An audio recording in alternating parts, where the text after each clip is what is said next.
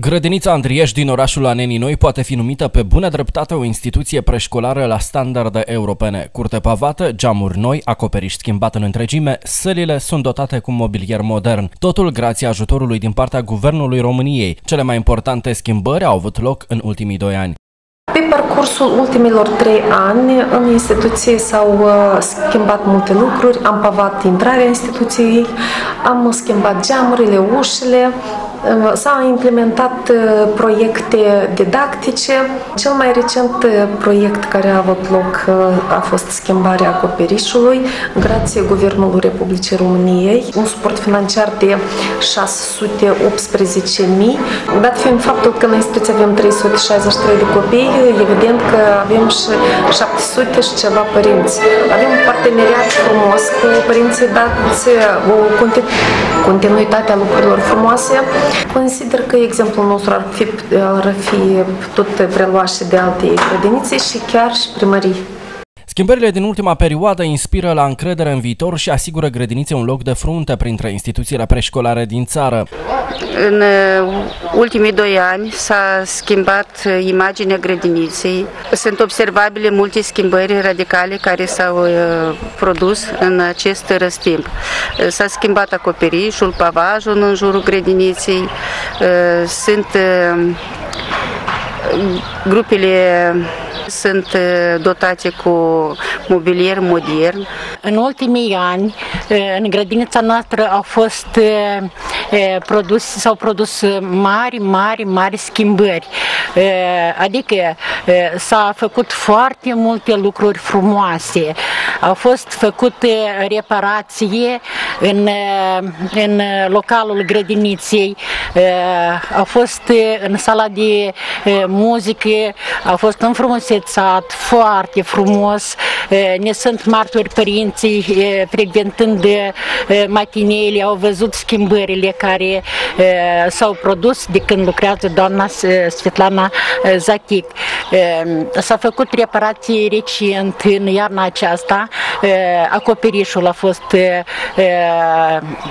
reparat, schimbat din talpă, un acoperiș, după cum am văzut noi, foarte trainic, care o să ne servească mulți ani de zile.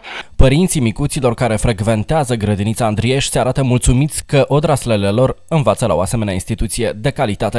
În calitate de părinte al unui copil ce frecventează grădinița numărul 3 Andrieș, constatăm în ultimul timp, anume de când doamna Svetlana a fost um, stabilită în funcție de director al grădiniței, niște schimbări foarte pozitive. Um, practic, grădinița este de nerecunoscut. Pavajul a fost schimbat totalmente.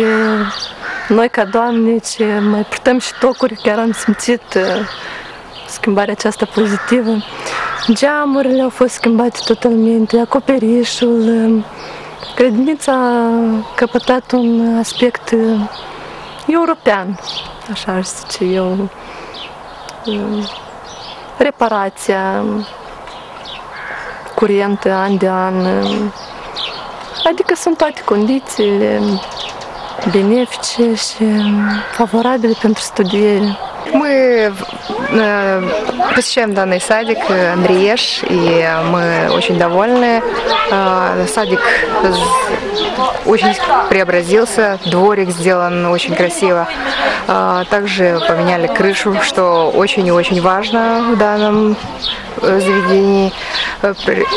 И что самое главное, это очень сильно нравится моему сыну здесь, именно как занимается с ними. Мы родители очень довольны тем, что и у нас э, новый директор, которая взяла в разуправление с первого дня, и, и видны результаты э, работы. И мы считаем, что Домна Светлана, она сильная женщина, которая, если берется за дело, она его доводит до логического завершения. Мы очень и очень довольны, а также наши дети. И они с удовольствием посещают садик и